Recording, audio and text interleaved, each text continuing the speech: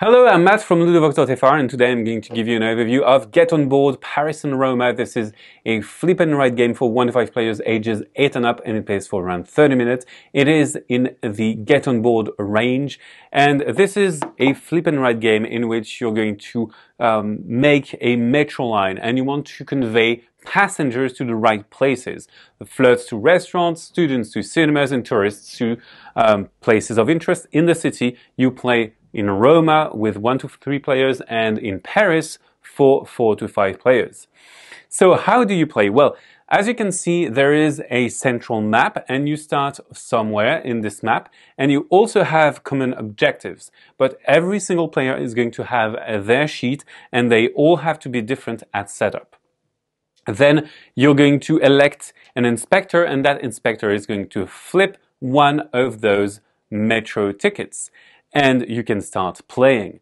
In this case, it's the 7. So 7 means that we are going to be playing this ticket, which means I have to place three sections like so. And I will have to place them according to my line. And in this case, for example, I could place them like so.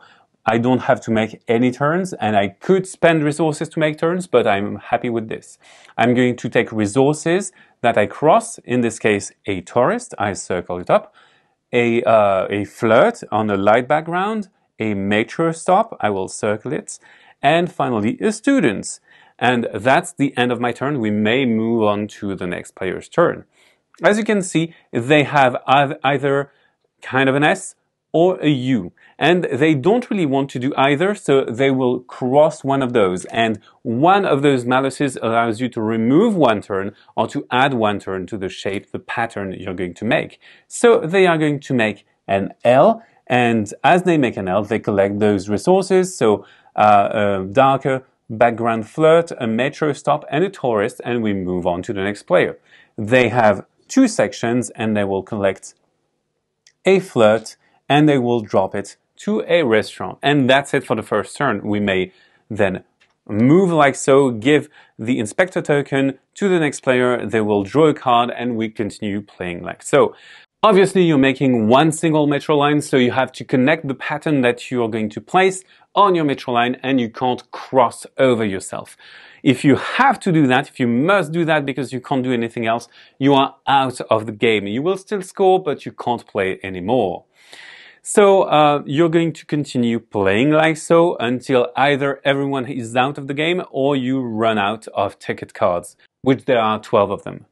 And uh, you're going to get resources, get uh, people that you have to convey to different places. So how do they work? First, you have grannies, and you circle grannies as you go from top to bottom, and the top grannies are worth less points than bottom grannies. And you simply sum all the points of the grannies you've picked up.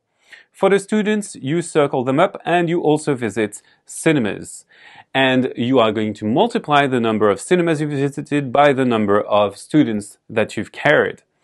And that's it. Yeah, that's your score for students. For tourists, it works as rows you are going to pick up tourists in a row and then if you visit a point of interest, a theater or a monument, you're going to score that row. In this case, for example, I have three tourists, so I score nine points for this row. And I can't score this row any longer, so this is crossed off and I may move to the next row. The flirts work in rows similar to the tourists, but they work in couples. So let's imagine that I do that and I go to a restaurant. I will ship that row to the restaurant and then if I have a couple, I score six points. But let, let's imagine that I have a single flirt. It is worth two points, so I would score six plus two, eight points. Again, I would cross this off as this row has been delivered. We also have objectives, and these objectives are checked after everyone has played in the round. You're going to check if players meet that objective and they score points. Let's imagine, for example, this one is scored, I score 10 points, we flip it, and then the players who will score it next will score less points. We also have a personal objective. If you visit the sections that are indicated, you get points.